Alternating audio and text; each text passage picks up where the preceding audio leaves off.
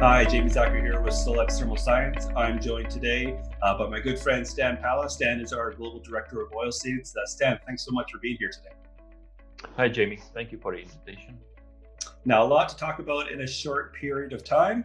Uh, before we get into it, uh, tell me a little bit about Solex's experience within the oilseeds industry. Yes, Solix has been a recognized partner to many producers for more than 30 years, and we can find our standard plate creators in the majority of rapeseed and canola processing plants. Uh, now, always something new going on here at Solex. Uh, what's new in your world these days, Stan? Yeah, today I would like to introduce our vertical plate conditioners. And in short, uh, they are a combination of Solex well-known plate technology for heating of bulk solids. And in combination with optimized air sections, we can provide conditioning of oilseeds before the crushing process. The plate technology itself allows for very efficient heat transfer. Product flows by gravity between the plates, and the heat transfer is done based on the conductivity. The flow of air has a vertical direction, and the reason for injecting the air is to absorb the moisture that is being evaporated during the heating process and carry moisture out of the conditioner. Uh, generally, the conditioners are a very good solution, especially for warm soybean dehulling process, as well as for conditioning of canola if needed. However, also allow for converting from hot to warm dehulling, which means that the processors can avoid the jet dryers after the installation. Uh, I'm interested to know a little bit more. Uh, how does plate technology compare uh, with traditional tube technology that we've seen out there in the field? Yes, uh, both technologies use similar principle of heat transfer and mass flow. Both provide very efficient solution. However, Solex plate technology can offer twice as much heat transfer area within the same space. For example, one heating section with the typical dimensions of 3.3 by 3.3 meters and 1 meter high offers more than 400 square meters of the heat transfer area. And being able to process more product within the existing space is quite important for the plants that are looking to increase the production capacity without having to also undertake significant retrofit renovations. Simply, you cannot install more tubes into the same area. Another huge benefit is the long lifetime of the heat transfer plates that do not suffer from abrasion.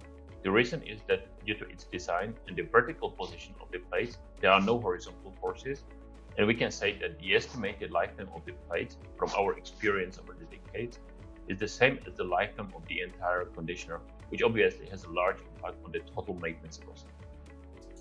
Now, in conversations you and I have had, uh, you've also mentioned uh, the fact that plate technology is better uh, suited to capture uh, waste uh, heat that's otherwise, uh, well, wasted in a lot of these plants. But tell me, how does this actually, how is this actually accomplished?